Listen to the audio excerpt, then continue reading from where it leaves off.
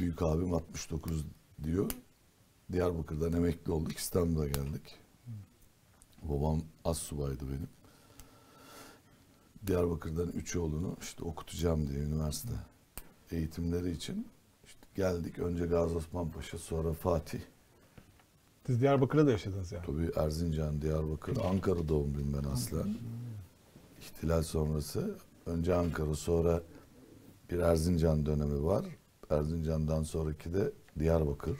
Diyarbakır'dan sonra işte 54-55 yıllık İstanbul'uyuz. Kürt seçmenleri böyle ikna edebilirsiniz o zaman. Ben Yo, benim öyle benim Doğu ve Güneydoğu vatandaşlarla olan hukukumda kimlik üzerinden hareket etmediğim için insan odaklı, kardeşlik odaklı, muhabbet odaklı hareket ettiğim için böyle bir kimlik üzerinden konuşma ihtiyacımız bile yok. Benim son 7 yıllık seyahatlerimin çok önemli bir kısmı Diyarbakır'a 20'ye yakın. Hakkari'ye 7, Urfa 10, Şırnak iki kez, Van 6-7 kez.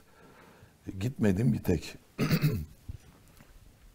İlk iki il kaldı. Biri Ardahan, biri Kars'a gitmedim. Seçim için mi gidiyorsunuz Hayır ben konferanslara konferanslara? konferanslara gittim. Yaklaşık 500'e yakın konferans verdim ve özellikle Urfa'da, Diyarbakır'da, Adıyaman'da, e, Bitlis'te, Muş'ta, Bingöl'de, Van'da, Ağrı'da mesela Ağrı'ya 5 kez gittim. Hakkari'de 6 ya da 7 kez Hakkari'de. Dolayısıyla benim e, İstanbul Büyükşehir Belediye Başkan adaylığımız inşallah açıklandığı gün Doğu ve Güneydoğu'daki sevgiye dayalı, muhabbete dayalı kardeşlerimizin tüm hareket noktası İstanbul'da.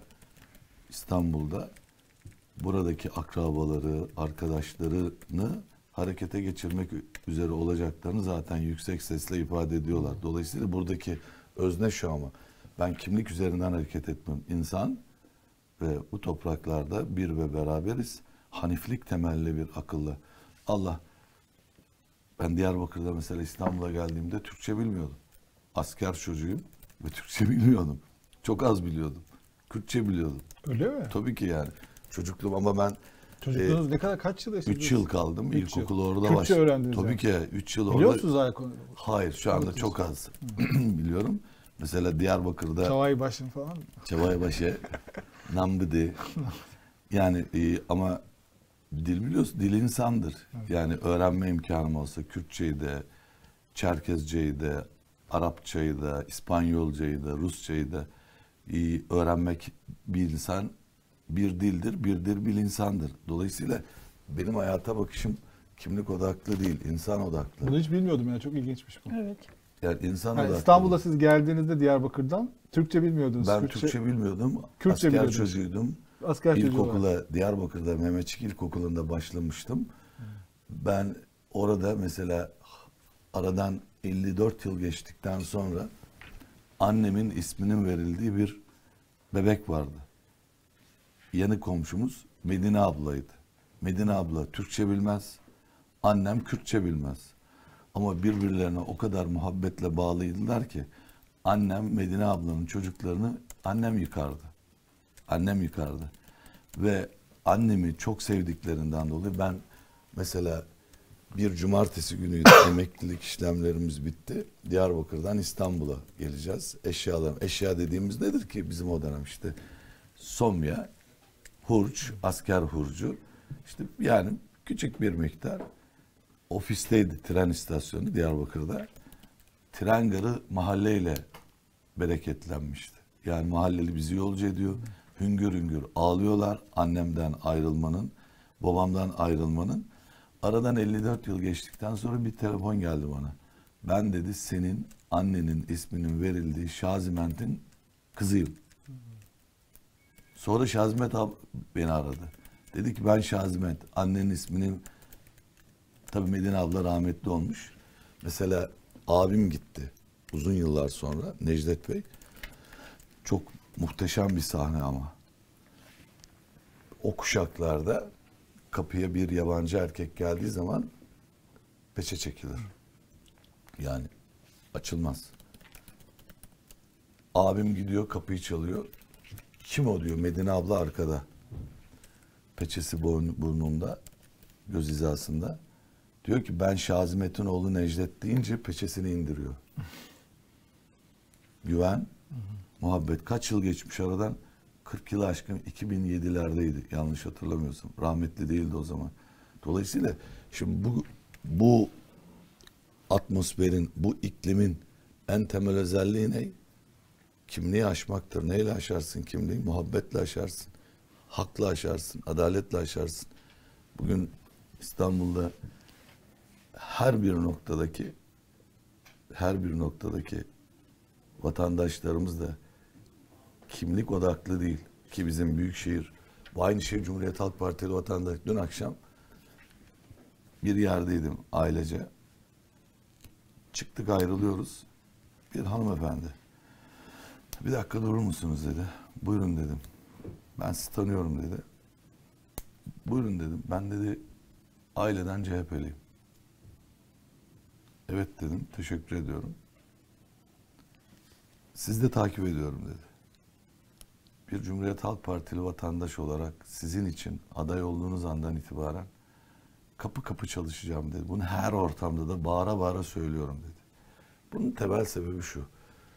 Siz duruşunuzda kimlik üzerinden kristalleştirme yapmazsanız, ben demezseniz, siyasetin sizin şahsınızda bir zenginleşme aracı olmadığını vücut buldurursanız, hak ve adalet eksenli. Mesela yine bir örnek vereyim size. Bunları anlatırken kastım bunlara bu toplumun ihtiyacı var. Çünkü siyasetle sokağın arasındaki bağ kopuyor. Mesafe açılıyor. Sokak özellikle genç kuşak siyasete güvenini ciddi anlamda kaybediyor. Ve kendi tarzında yeni bir hat açıyor. Maalesef ayırt etmeden söylüyorum. Bu sadece bir parti için değil, bütün partiler için geçerli. Ciddi anlamda siyaset sosyolojisinde siyasetin güven merkezi olma kabiliyetini kaybetme riski her gün yüksek. Sebebi ne? Çünkü siyaset bir anlamda kolay zengin olma yolu. Kolay zengin olma yolu. Bunu ayrım yapmadan söylüyorsunuz Ayrım yapmadan. Bütün partiler. Hayır hayır hiç hayır. Ben bu ülkenin evladıyım ya. Türkiye kıymetli. Türkiye benden de kıymetli, partilerden de kıymetli.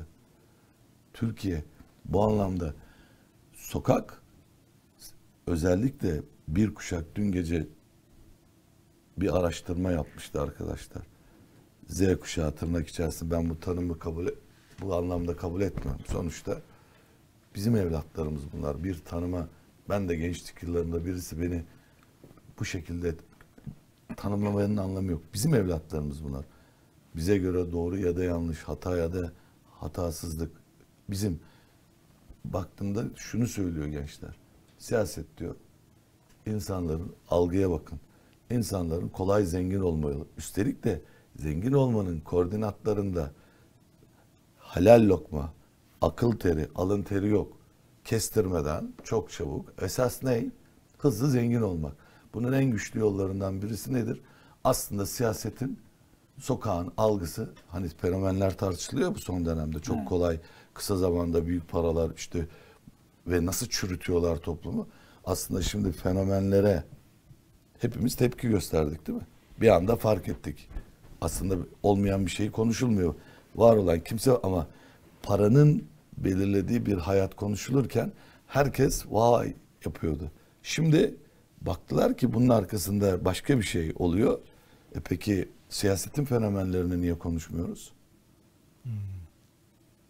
Ama şunu da Kim konuşmak onlar gerekmiyor siyaset mu? fenomenleri? Sokak hepsini görüyor. Ayırt etmiyorum ki ben. Yani böyle hızlıca zengin olanlar. Tabii ki çok hızlı hayatları bir anda değişenler.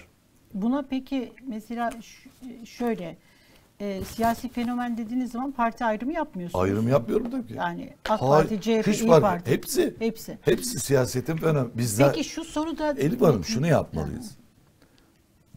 Siyasetle sokak arasındaki bağ, sosyolojiyle siyaset arasındaki bağ koptuğu zaman bu faturayı kim ödeyecek?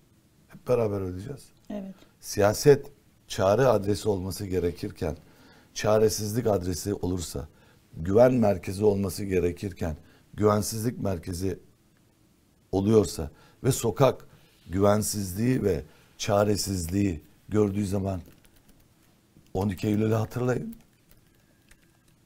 12 Eylül'ün ben o kuşağım. 12 Eylül'de 12 Eylül'ün kendini ihtilalin kendini meşrulaştırma aracı neydi biliyor musunuz Yıldıray Bey kardeşim? Sokağın çaresizliği. Niçin? Hiçbir anne evladı ile ilgili kendini güvende hissetmiyordu. Okula gönderdiği zaman başına ne geleceğinden emin değildi. Sokağa çıktığı zaman şimdi bu güvensizlik siyasetin süreci okuyamaması. 12 Eylül öncesi merkez sağ ve merkez sol siyasetin 12 Eylül'deki rolünü hiç kimse konuşmuyor. Asıl 12 Eylül'e Türkiye'ye getiren önemli sebeplerden birisi siyasetin okuma zafiyeti, yönetmek kabiliyetsizliği, beceriksizliği. Şimdi aynı tehlike. Bu sefer ben ihtilaller bu ülkenin sınırları içerisinde kabul etmediğimiz, reddettiğimiz oluyordu. Şimdi sınır aşan tehlikelerle karşı karşıyayız. Bakınız Interpol Başkanı açıklaması var.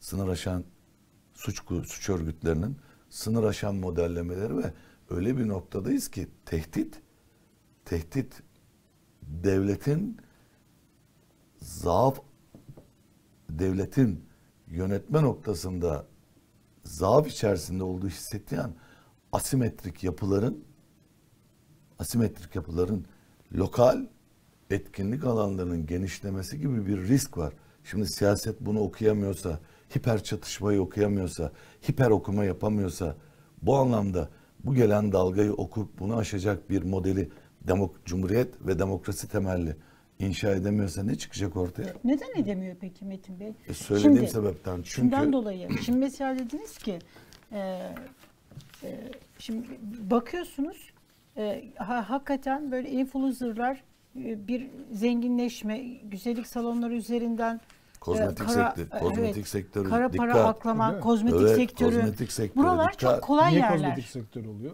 enteresan bir şekilde bende bir takım ihbarlar var. İlgili yerlere verdim. Ciddi anlamda örgütlü bir yapı